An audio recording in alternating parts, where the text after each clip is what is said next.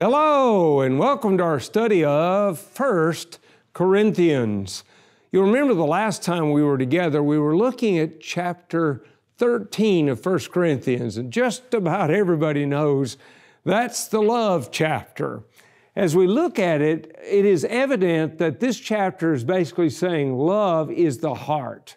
That Christianity without love is, is heartless, really, and it's not doing what God wants it to do. Then I would suggest that God is its greatest display. We looked at some of the things that, that love is, like love is long suffering, for example. Well, God is long suffering, He is the greatest example of being long suffering. Uh, love uh, doesn't think anything evil, it, it wants only the best for the object of its love. And again, God is the greatest display of that. So, chapter 13 helped us to see that. Then we observe that miracles will come to an end. Uh, that yes, they had a purpose, and we're going to talk more about that purpose in chapter 14. Uh, but that purpose would one day be fulfilled or completed, and at that point, miracles would come to an end. Tongues would cease naturally because there'd be no one left to cause someone to be able to speak in tongues miraculously. And then the closing idea of the chapter is love abides.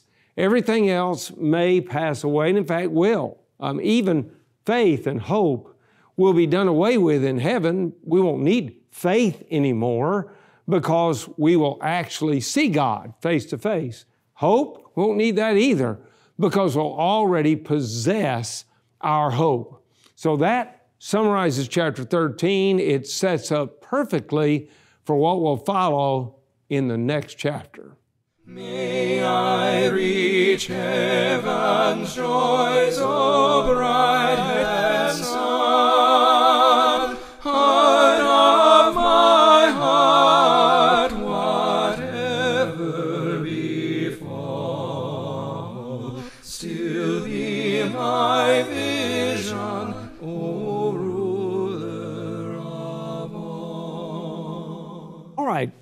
we remember that beginning with really chapter 12 and going all the way through chapter 14, Paul is dealing with a significant problem in Corinth, in the church.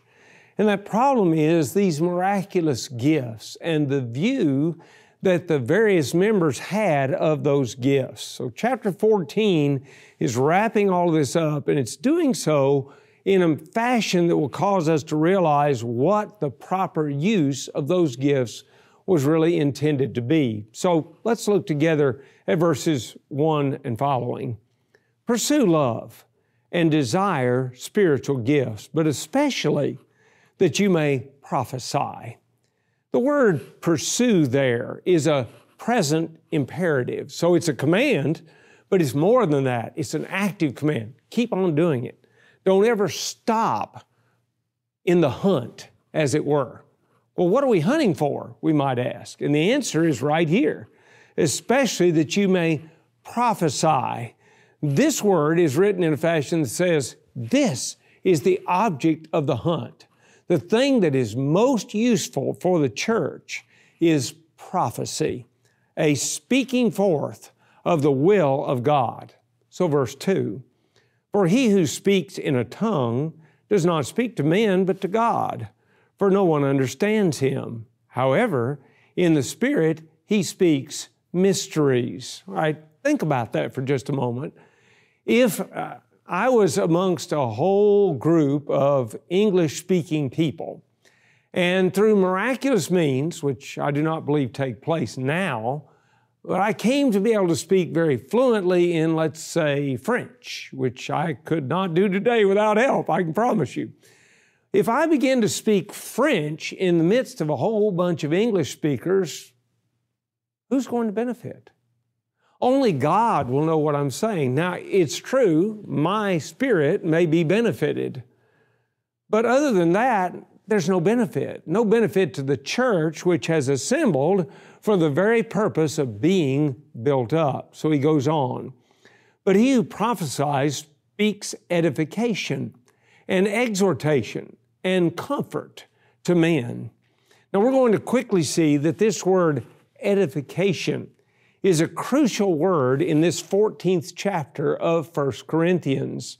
The word means building up, literally, and it came to mean within the church building up your brethren, helping each Christian to be stronger in the Lord's service. That's the idea that is here.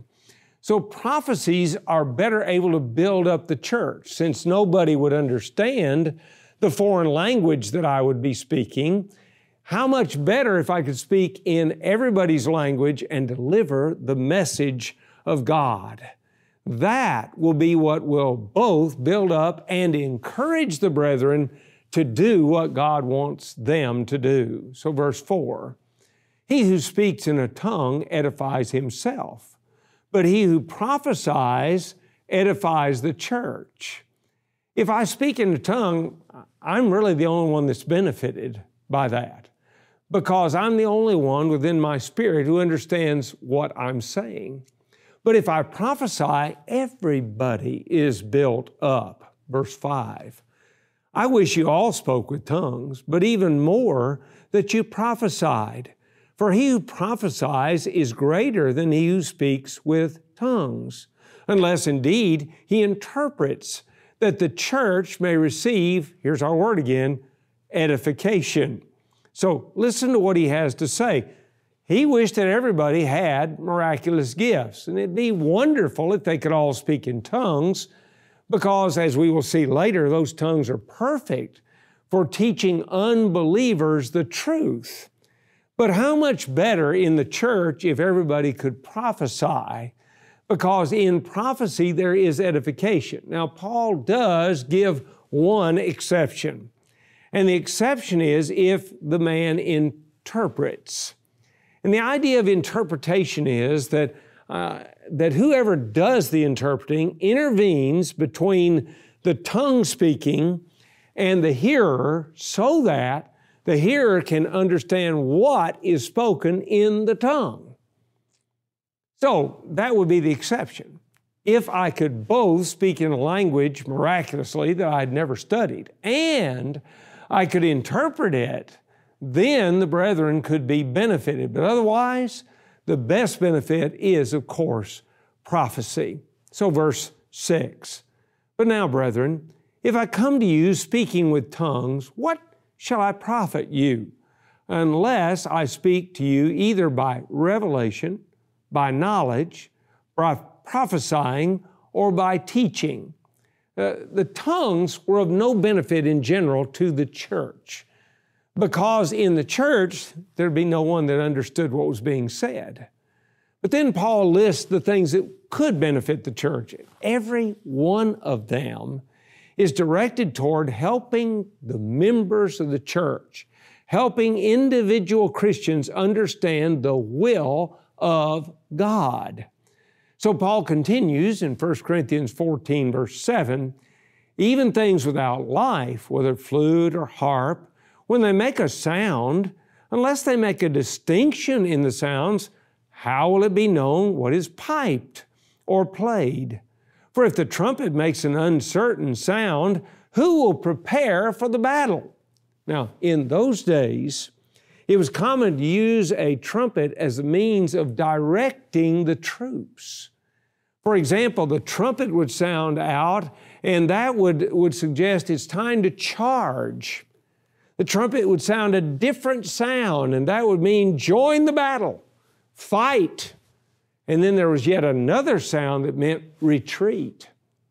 Now, what happens if nobody can tell what he's trumpeting? No one knows what the sound means. Did he, did he say charge? Did he, did he say retreat? Uh, are, are we supposed to join the battle? There's total confusion. And Paul is saying that same thing is going to happen in the church. And that's exactly what he goes on to. So, likewise, you, unless you utter by the tongue words easy to understand, how will it be known what is spoken? For you will be speaking into the air. And that's pretty much it, isn't it? Uh, I, I, will never be able to forget a, a, trip that I made one time. I was invited uh, to come to Nicaragua to speak. Of course, everybody there pretty much spoke uh, Spanish. And so here I was, a fellow that, that really doesn't know any Spanish. I do know how to ask about where the bathroom is and, and how to say, uh, you know, hello to you in Spanish, but that's pretty much it. That's all I know. So the brethren very kindly put me in this motel, and I almost immediately came to realize that once they left me, I was in trouble because no one could speak English. And so here I was totally in the dark. The truth is that they had a wonderful breakfast buffet, I mean, the likes of which I've never seen anywhere. But I didn't know that it was there for everyone who had a room, that it was included in the cost of the room. And I didn't want to cost the brethren any extra money. So I ate some snacks that I had in the room. Later, I was told by someone, no, no, no, that's for you. And you can see where if I don't understand the tongue, then I really don't understand what's going on. And I surely cannot be built up by that. So he continues and he says, There are, it may be, so many kinds of languages in the world, and none of them was, is without significance. Look, Spanish is an important language to a Spanish speaker. That's the only way he can understand things. If I'm the only one he gets to listen to, then he's got a problem because I can't speak his language. So each language has a value, but the value is to the people who natively speak that language.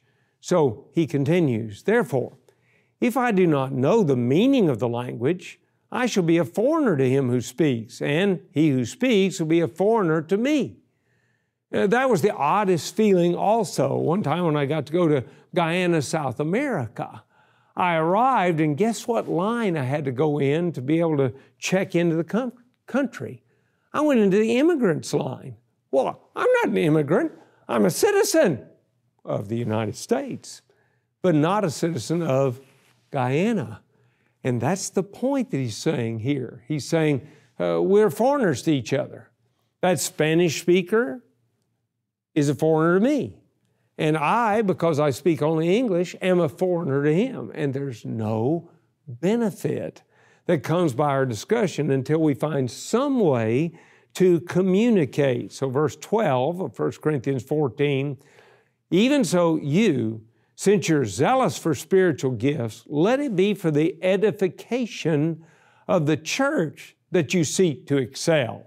And again, remember, Paul is suggesting that the most important thing to do in the church is ultimately to build it up, to build up every member of the church so that we'll all be stronger in the Lord. Verse 13, he continues, Therefore, let him who speaks in a tongue pray that he may interpret.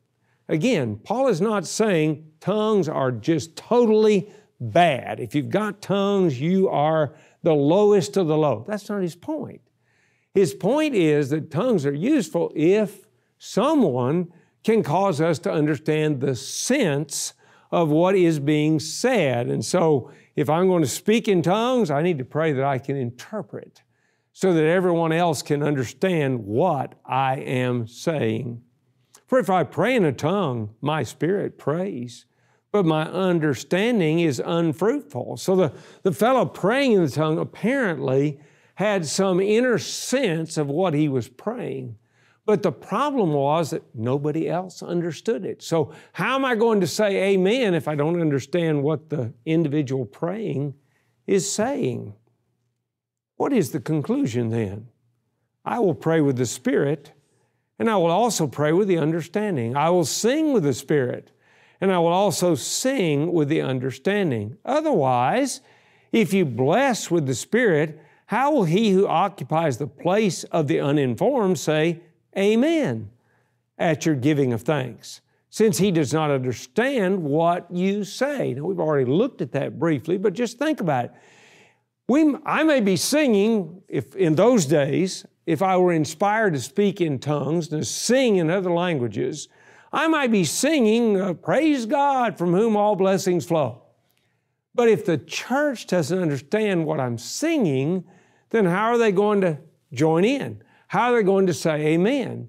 I may be thanking God for all the marvelous gifts that He gives us in the prayer that I pray. But if it's in a foreign language that nobody understands, how is anyone going to say amen or so be it or I agree with that? They can't because they do not understand. And that's what Paul is underscoring for the members of the church here.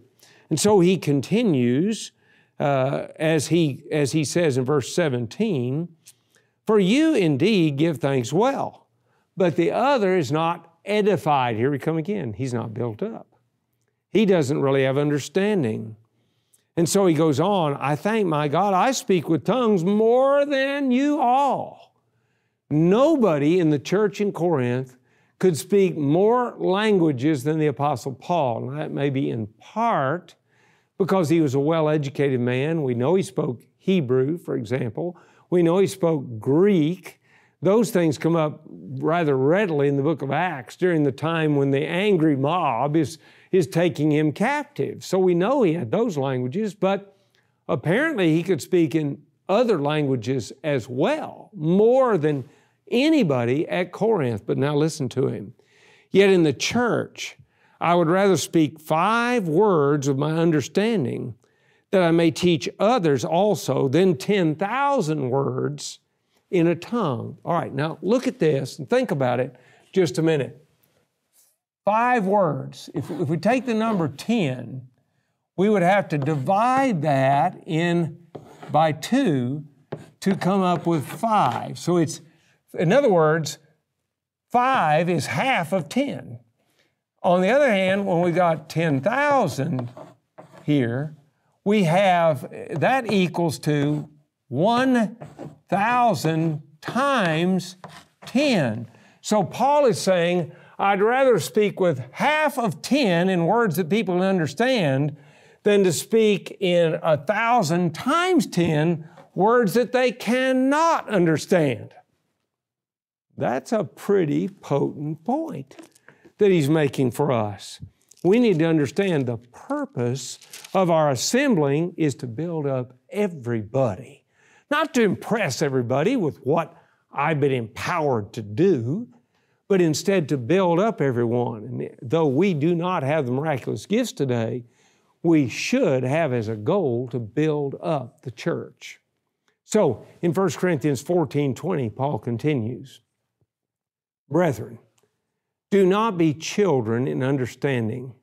However, in malice be babes, but in understanding be mature. Brethren, do not be children. The way that's written in the original language, it, it literally describes stop doing that. they were acting like children in reference to uh, these gifts and, and to the idea of understanding. They were like children being drawn to the prettiest gift. You ever notice something? When a, when a whole bunch of gifts are before a child, they may open up just one and start to play with the, with the bow. Because the bow is the prettiest thing. They don't even pay attention to what the gift is. It's just the bow that they're interested in. Paul is saying, you folks need to stop being like children, interested in what looks the best to you you need to focus on the idea of understanding. Now, do you want to know what Paul says we ought to be children in? He says, be children in malice. Have you ever noticed that, again, children uh, don't really have a problem with grudges? I think back to my childhood. I got to go visit uh, in uh, Michigan with my grandparents and also my cousins. I was particularly close to one cousin, uh, Larry. He and I would play together all the time. We'd either be at his house or we'd be at grandma's house all the time. Well, this particular day we were at grandma's house. and I don't remember what happened, but, but we got into an argument. And he got so mad, he said, I'm just going home. Forget it. I don't want to be with you anymore. And he stormed out. Well, of course, I, I started to cry. And grandma came up to me and said, uh, Gary, don't worry about it. He, he'll, he'll forget and, and he'll be back. Well, not too long after that, I heard a bell, a constant ringing bell. I thought, that's, that's odd. I, I don't know what that bell is. It was off in the distance. Next thing I know, here comes Larry running down the street. Hey, hey, they, they've robbed the, the store up here, and, and that's the alarm going off. And let's, let's pretend we're the police and let's see if we can chase down those folks. Well, you see, children don't hold grudges very long. So Paul says, don't be a child when it comes to things that matter in terms of understanding, but be a child when it comes to grudges. Put them down, put them away, readily forgive. That will benefit the church. So in verse 21, he says, In the law it is written, with men of other tongues and other lips, I will speak to this people, and yet, for all that, they will not hear me. Of course, that's Isaiah's prophecy in Isaiah chapter 28, verses 11 and 12.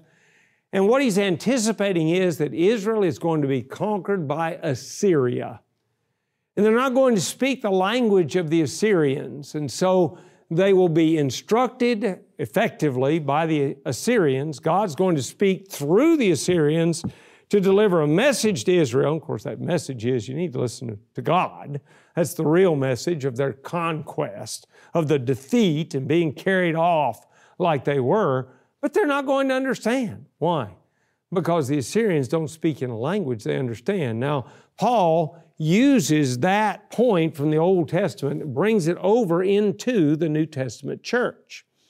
And what he says here is very, very powerful. And that is, you cannot really understand the will of God if the person speaking to you is speaking in a language you do not understand. So, tongues, remember, chapter 12, it was at the bottom of two lists. And there's a reason for that. Because in the church, it's not the most beneficial gift. So, verse 22 therefore, tongues are for a sign, not to those who believe, but to unbelievers. But prophesying is not for unbelievers, but for those who believe. When you go out to teach people in foreign lands, well, tongues are very valuable. Wouldn't it have been a blessing if I could have been miraculously empowered to speak Spanish without having ever studied it? I, I would have loved to have been able to do that. I cannot. God doesn't do that anymore. But if I could, I could use that to teach others what they need to know about the gospel of Christ. But in the church, in the church, I need to tell forth, speak forth the will of God. So, verse 23 of 1 Corinthians 14 Therefore, if the whole church comes together in one place and all speak with tongues, and there come in those who are uninformed or unbelievers, will they not say that you are out of your mind? Well, boy, wouldn't that be the case?